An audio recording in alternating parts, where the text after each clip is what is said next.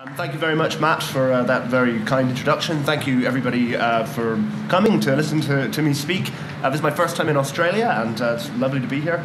Um, I do admit I was a bit nervous when I was going through immigration, and they asked me if I had any criminal convictions. Didn't know you need, still needed those to come here, but um, I'm uh, glad, glad you haven't heard that one before. Uh, I was worried, worried that was maybe an old one. Um, but um, I think I'm probably here to provide the kind of, as, as Matt said, sort of reasonable Remainer point of view. And um, at this stage, particularly in the UK, uh, it kind of feels like the referendum never ended. Um, it feels like we're going over the same debates again and again and again. There is, particularly on the Remain side, and I think in a very, very self defeating way, a camp of hardcore, uh, die-hard Remoaners is the term that um, some people use who refuse to accept the result of the referendum and kind of seem intent on, however self destructive it is, constantly pushing for a kind of second referendum. It's not going to happen, okay? It's, not, it's absolutely not going to happen. We're going to leave the European Union and we need to face the challenges and some of the opportunities that come with that. Uh, what I want to talk about in my remarks here, and I will try to um, stay to time, um, are probably some of the projections. What might Brexit actually mean for the UK? And oh, that's my speaking time over already, but uh, glad, glad, you enjoyed the joke anyway. Um, but some of the projections, what might Brexit mean for the UK in the long term? And um, what are some things that we can do to take advantage of the, um, the good things about Brexit? So, the first point to, to note is that EU membership um, has been very, very good for the UK. Um, Nicholas Crafts, who's a, an extremely uh, well renowned, well regarded economist, um, reviewed the evidence, uh, suggests that EU membership has probably raised UK GDP per capita by about 10% higher than it would be otherwise. Um, one of the nice things about EU membership was that it complemented the Thatcher reforms um, increased openness to trade, stronger competition regulation, uh, pro competition regulation. Um, these, these kinds of rules that the EU, uh, at that point the European community, meant for the UK meant that the Thatcher privatisations and the Thatcher deregulations were, uh, had more teeth and um, they went very well together. Um, I think it's a very, very valid point, though, that first of all, we are not where we, we are not where we are, or we're not where we were 20 years ago. We're not where we were 30 years ago. So even though EU membership has been very good for the UK, it's not necessarily the case that leaving the EU will be um, in, in direct proportion as bad. The European Union right now accounts for about 45% of trade. Uh, perhaps it's trending towards a, a, much lower figure than that, but right now it's almost half of, of the trade we do.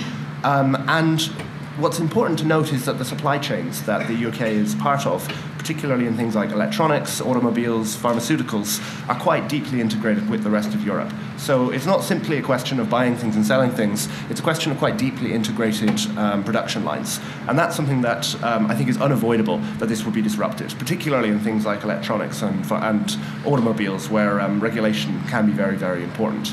Um, Having said that, the projections about the UK uh, GDP loss, how much poorer we're likely to be leaving the European single market, are not catastrophic.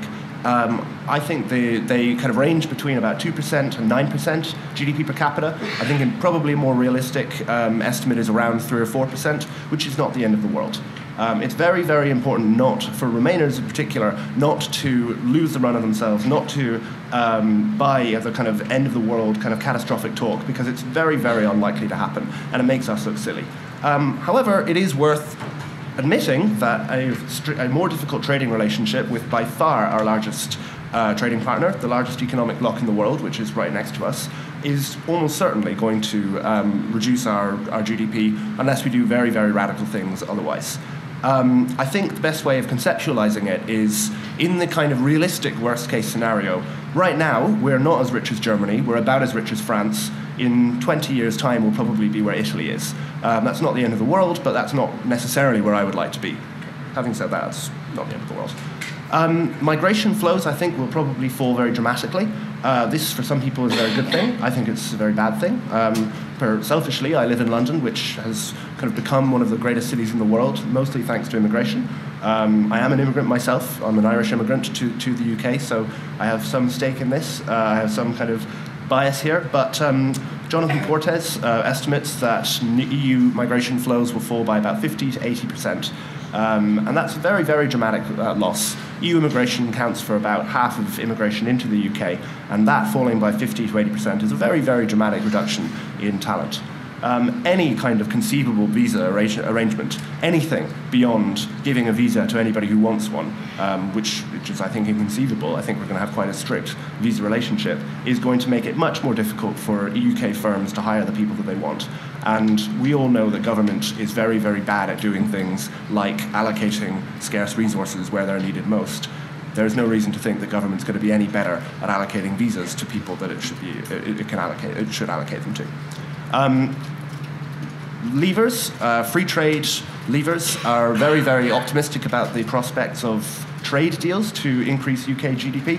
Um, I think that apart from the trade deal that we get with the EU, which is very important because the EU is so large and so close to us, there is almost no trade deal on the planet that will make us noticeably richer. Um, the exception to that is, the, is getting one with the United States, which is possible and is probably more likely now that we're outside the EU than um, otherwise. Um, the projections I've seen for that is that it will raise trade by about 5 to 8% and raise GDP per capita by about half a percentage point. Again, that's not nothing, but it clearly doesn't undo the likely losses from leaving the EU. Um, trade deals with Australia, I mean, I love you guys, but you're on the other side of the world. Um, it's likely to increase trade volume, that's trade, not GDP, by about 0.2 to 0.5%, uh, increase GDP per capita by an insignificant amount, something that's so small it's not even measurable. Um, the other kind of big gains would be trade deals with China, India, countries like that, but those are so difficult to get, and the UK is relatively insignificant compared to the EU, that I think it's unlikely that we're going to get the sort of trade deal that we would actually like, that we would actually want. Um, so those are the bad. That's the bad news. Um, it probably will make us poorer. It's going to make trade more difficult. It's going to disrupt existing supply chains. And for people like me who are globalists, it's going to make uh, it much harder for smart, talented young people who pay lots of tax and don't cost very much in state services to come to the UK. So taxes will increase, or the deficit will increase, or if I, if in my in my dreams, spending will fall. I think that's very very unlikely, but uh, we'll see. So that's the bad news. The good news is that Brexit may be so disruptive that um, we will be forced to do things that we would usually never consider. Where I think the biggest gains uh, from Brexit are, or the biggest opportunities from Brexit are, are in things that really have nothing to do with Brexit, but may become um, attractive or may become necessary because of the difficulties of Brexit. Um, the UK has one of the most restrictive and one of the most importantly restrictive planning systems in the world. Uh, this is particularly important in London. Um, the extreme increase in house prices, combined with extreme constraints on supply, has meant that London is a very, very difficult place to, um, to buy a house in. Uh, rental prices are very, very high, although they haven't risen very, they haven't risen by that much over the te- last 10 years. But the level is high, and it's possible that in order to attract uh, investment. It's possible that in order to increase productivity, the government may be forced to deregulate the planning system. This would be um, counterintuitive, given that the Conservative government has a strong electoral stake in not letting house prices fall and in not letting property prices fall. But it's possible that they may be forced to do this because productivity begins to drag so much compared to the rest of the European Union that we kind of have to do this. Um, another area where something like that, where a hand may be forced, is in corporation tax reform, either switching to a cash flow tax, um, such as the one on the, on the agenda that I think is very good in the United States, or in simply cutting corporation tax or increasing capital allowances. Um, anything, anything like that that reduces the cost of investment and, reduces, and increases returns to investment would be very good and would help the UK's very, very poor productivity uh, level. The UK is remarkably low productivity for an advanced economy, and um, compared to our European neighbours, we're remarkably low productivity. And that may change. We may be forced to do things that will change that. Um, I am not particularly optimistic about these things happening. They may happen, and this is where I most uh, this is where I kind of dream that they may happen. Uh, but I think more likely is that we're going to see quite a strong lurch to a kind of quasi populist um, conservative approach to governance. Uh, we've seen some of this in the fact that most of the cabinet, most of the kind of ruling clique um, in the UK were Remainers, and they are now so desperate to prove that they're leavers, that they're committed to Brexit, that they're kind of doing a weird sort of aping of, of leavers. They're doing kind of quasi um, xenophobic immigration policy. Amber Rudd's uh, quickly withdrawn suggestion that companies should have to have lists of foreigners working for them, which they then supply to the government, um, was, I think, an example of somebody who doesn't really understand the Leave mindset, trying to play up to the Leave gallery. Uh, Theresa May, I think, has very, very um, statist instincts, and I think that um, in order she will play to the kind of populist gallery to try and um, kind of win those, to win that kind of support. Um, I think that's a very bad thing. Um, I, an interesting test might be the commissioning of HS2, which is a high speed rail link, um, the first kind of major high speed rail line in the UK. There has been a lot of controversy in the last couple of days about whether a French, whether the French state rail company should be allowed to bid for this. Obviously, under EU rules, it would be allowed to bid for this, but as we leave the EU, we're free to only allow British companies to bid for co- public contracts.